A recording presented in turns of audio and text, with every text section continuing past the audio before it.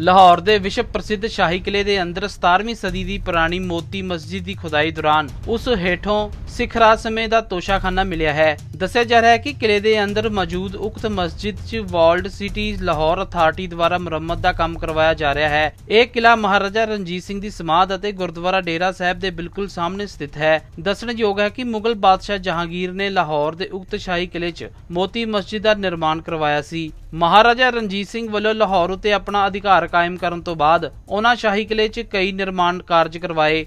ਅਤੇ ਕਈ ਨਵੇਂ ਸਮਾਰਕਾਂ ਦੀ ਉਸਾਰੀ ਕਰਵਾਈ। ਉਸ ਦੌਰਾਨ ਉਕਤ ਮਸਜਿਦ ਨੂੰ ਮੰਦਿਰ ਦਾ ਰੂਪ ਦੇ ਦਿੱਤਾ ਗਿਆ। ਸ਼ੇਰੇ ਪੰਜਾਬ ਨੇ ਮੋਤੀ ਮੰਦਿਰ 'ਚ ਤਬਦੀਲ ਕੀਤੀ ਗਈ ਮੋਤੀ ਮਸਜਿਦ ਨੂੰ ਸਿੱਖ ਰਾਜ ਦੇ ਖਜ਼ਾਨਾ ਸਥਾਨ ਭਾਵ ਤੋਸ਼ਾਖਾਨਾ ਵਜੋਂ ਚੁਣਿਆ। ਦੱਸਿਆ ਜਾ ਰਿਹਾ ਹੈ ਕਿ ਸਨ 1849 ਵਿੱਚ ਜਦੋਂ ਸ਼ਾਹੀ ਕਿਲਾ ਅੰਗਰੇਜ਼ਾਂ ਦੇ ਕਬਜ਼ੇ ਹੇਠ ਆ ਗਿਆ, ਤਾਂ ਮੋਤੀ ਮਸਜਿਦ ਬਨਾਮ ਮੋਤੀ ਮੰਦਿਰ ਦੇ ਪਾਸ ਕੀਤੀ ਖੁਦਾਈ 'ਚ ਉਹਨਾਂ ਨੂੰ ਕਈ ਕੀਮਤੀ ਮੋਤੀ, ਹੀਰੇ ਅਤੇ ਗਹਿਣੇ ਮਿਲੇ ਸਨ। ਵਰਲਡ ਸਿਟੀ ਲਾਹੌਰ ਅਥਾਰਟੀ ਦੇ ਅਧਿਕਾਰੀਆਂ ਨੇ ਦੱਸਿਆ ਕਿ ਮਸਜਿਦ ਦੇ ਬਰਾਮਦੇ 'ਚ ਜਿਸ ਜਗ੍ਹਾ ਤੋਂ ਸਿੱਖ ਰਾਜ ਦਾ ਉਕਤ ਤੋਸ਼ਾਖਾਨਾ ਮਿਲਿਆ ਹੈ, ਉੱਥੇ ਕਈ ਕਮਰੇ ਬਣੇ ਹੋਏ ਹਨ।